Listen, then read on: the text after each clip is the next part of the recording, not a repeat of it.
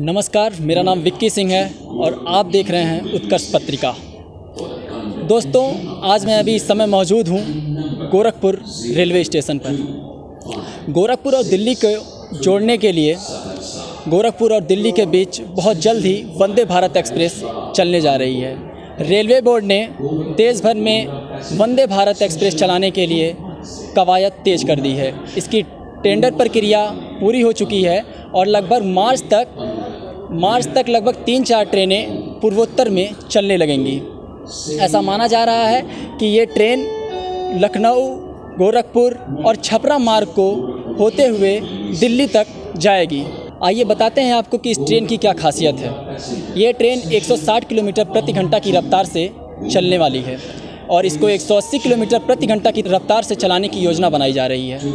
इस ट्रेन को सीट 18 भी कहते हैं।